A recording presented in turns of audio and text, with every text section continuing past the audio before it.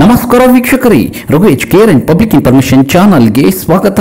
ರೈತ ಬಾಂಧವರಿಗೆ ಇದೀಗ ತಾನೇ ಮಹತ್ವದ ಮಾಹಿತಿ ಬಂದಿದ್ದು, ಪಿಎಂ ಕಿಸಾನ್ ಸಮ್ಮಾನ್ ನಿಧಿ ಯೋಜನೆಯ ಫಲಾನುಭವಿಗಳಿಗೆ ಹಾಗೂ ಸಾಲ ಮನ್ನಾ ನಿರೀಕ್ಷೆಯಲ್ಲಿರುವ ರೈತ ಬಾಂಧವರಿಗೆ ಮುಖ್ಯ ಮಾಹಿತಿ ಈ ವಿಡಿಯೋದಲ್ಲಿದೆ. ಹಾಗಾಗಿ ನೀವು ರೈತರಾಗಿದ್ದರೆ, ರೈತರ ಮಕ್ಕಳಾಗಿದ್ದರೆ ಈಗಲೇ ಈ ವಿಡಿಯೋಗೆ ಲೈಕ್ ಮಾಡಿ, ಸ್ಕಿಪ್ ಮಾಡದೆ ವಿಡಿಯೋನ ಕೊನೆವರೆಗೂ ನೋಡಿ ಮಾಹಿತಿಯನ್ನ ತಿಳಿದುಕೊಳ್ಳಿ. ಅದಕ್ಕೂ ಮುಂಚೆ ನೀವು ನಮ್ಮ ಚಾನಲ್ಗೆ ಹೊಸಬರಾಗಿದ್ದು, ಇನ್ನು ನಮ್ಮ ಚಾನಲ್ ಅನ್ನು ಸಬ್ಸ್ಕ್ರೈಬ್ ಮಾಡಿಕೊಂಡಿರದಿದ್ದರೆ ಈಗಲೇ ಕೆಂಪು ಅಕ್ಷರದಲ್ಲಿರುವ ಸಬ್ಸ್ಕ್ರೈಬ್ ಪದದ ಮೇಲೆ ಕ್ಲಿಕ್ ಮಾಡಿ, ಪಕ್ಕದಲ್ಲಿ ಬರುವ ಬೆಲ್ ಬಟನ್ ಅನ್ನು ಒತ್ತಿ ಫ್ರೀ ಆಗಿ ಸಬ್ಸ್ಕ್ರೈಬ್ ಮಾಡಿಕೊಂಡು ನಮ್ಮನ್ನು ಪ್ರೋತ್ಸಾಹಿಸಿ. ಹೌದು ರೈತ ಬಾಂಧವರೇ, ರಾಜ್ಯದಲ್ಲಿ ಚುನಾವಣಾ ಕಾವು ಏರುತ್ತಿದ್ದು ರೈತರನ್ನ ಓಲೈಸಲು ಅನೇಕ ಘೋಷಣೆಗಳನ್ನ ಮಾಡಲಾಗುತ್ತಿದೆ. ರಾಜ್ಯದಲ್ಲಿ ಕಾಂಗ್ರೆಸ್ ಸರ್ಕಾರ ಅಧಿಕಾರಕ್ಕೆ ಬಂದರೆ ಷರತ್ತುಬದ್ಧ ಸಾಲವನ್ನು ಮನ್ನಾ ಮಾಡಲಾಗುವುದು. ಮಹಿಳೆಯರಿಗೆ ನೀಡುತ್ತಿರುವ ಐವತ್ತು ಸಾವಿರ ಬಡ್ಡಿ ರಹಿತ ಸಾಲವನ್ನು ಒಂದು ಲಕ್ಷ ರೂಪಾಯಿವರೆಗೆ ಏರಿಕೆ ಮಾಡಲಾಗುವುದು ಎಂದು ವಿರೋಧ ಪಕ್ಷದ ನಾಯಕರಾದ ಸಿದ್ದರಾಮಯ್ಯನವರು ಘೋಷಣೆ ಮಾಡಿದ್ದಾರೆ. ಕೋಲಾರದಲ್ಲಿ ಮಹಿಳಾ ಸಮಾವೇಶದಲ್ಲಿ ಮಾತನಾಡಿರುವ ಸಿದ್ದರಾಮಯ್ಯನವರು, ಸರಿಯಾಗಿ ಸಾಲ ಕಟ್ಟುತ್ತಿರುವ ರೈತರ ಸಾಲವನ್ನು ಮನ್ನಾ ಮಾಡಲಾಗುತ್ತದೆ ಎಂದು ಭರವಸೆ ನೀಡಿದ್ದಾರೆ. ಕಾಂಗ್ರೆಸ್ ಅಧಿಕಾರಕ್ಕೆ ಬಂದರೆ ಸರಿಯಾಗಿ ಸಾಲದ ಕಂತು ಕಟ್ಟುವ ರೈತರ ಸಾಲವನ್ನು ಮನ್ನಾ ಮಾಡಲಾಗುತ್ತದೆ ಎಂದು ಹೇಳಿದ್ದಾರೆ.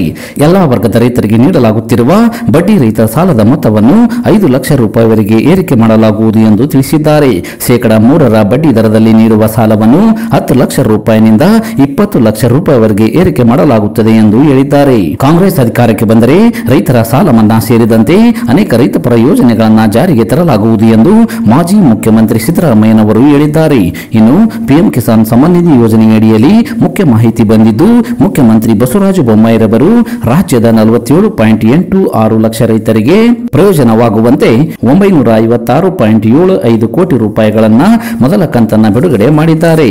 ಹೌದು ರೈತ ಬಾಂಧವರೇ, ಪಿಎಂ ಕಿಸಾನ್ ಸಮ್ಮಾನ್ ನಿಧಿ ಯೋಜನೆಯಡಿ ರೈತರಿಗೆ ಸಹಾಯ ಕಲ್ಪಿಸುವ ಪ್ರಮುಖ ಯೋಜನೆಯಾಗಿದ್ದು, ಭೂ ಹಿಡುವಳಿ ಹೊಂದಿರುವ ರೈತ ಕುಟುಂಬಗಳಿಗೆ ಅವರ ಕೃಷಿ ಹಾಗೂ ಆರ್ಥಿಕ ಅಗತ್ಯತೆಗಳನ್ನು ಪೂರೈಸಲು ಸಹಾಯ ಮಾಡುವ ಉದ್ದೇಶದಿಂದ ಆರ್ಥಿಕ ಸಹಾಯಧನವನ್ನು ಈ ಯೋಜನೆಯ ಮೂಲಕ ನೀಡಲಾಗುತ್ತಿದೆ.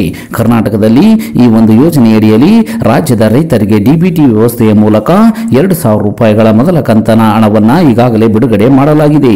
ರಾಜ್ಯ ಸರ್ಕಾರದ ಅಧಿಕೃತ ಮಾಹಿತಿಯ ಪ್ರಕಾರ ಸಿಎಂ ಕಿಸಾನ್ ಕರ್ನಾಟಕ ಯೋಜನೆಯ ಅಡಿಯಲ್ಲಿ ಇದುವರೆಗೂ ರೈತರಿಗೆ ಮೂರು ಸಾವಿರದ ಎಂಟುನೂರ ಅರವತ್ತೊಂದು ಪಾಯಿಂಟ್ ಆರು ಆರು ಕೋಟಿ ರೂಪಾಯಿಗಳನ್ನು ಪಾವತಿಸಲಾಗಿದೆ. ಇದರೊಂದಿಗೆ ಸಿಎಂ ಕಿಸಾನ್ ಸಮಾನ್ ನಿಧಿ ಯೋಜನೆಯ ಎರಡನೇ ಕಂತಿನ ಹಣವನ್ನು ಇದೇ ತಿಂಗಳು ಕೊನೆಯ ವಾರದಲ್ಲಿ ಜಮಾ ಮಾಡಲಾಗುತ್ತದೆ ಎಂದು ಮಾಹಿತಿ ಬಂದಿದೆ. ರಾಜ್ಯ ಸರ್ಕಾರದಿಂದ ಪಿಎಂ ಕಿಸಾನ್ ಸಮ್ಮಾನ್ ನಿಧಿ ಯೋಜನೆಯಡಿಯಲ್ಲಿ ರಾಜ್ಯದ ಅರ್ಹ ಫಲಾನುಭವಿ ರೈತರಿಗೆ ವಾರ್ಷಿಕವಾಗಿ ಎರಡು ಸಮಾನ ಕಂತುಗಳಲ್ಲಿ ಒಟ್ಟು ನಾಲ್ಕು ಸಾವಿರ ರೂಪಾಯಿಗಳನ್ನು ನೀಡಲಾಗುತ್ತಿದೆ.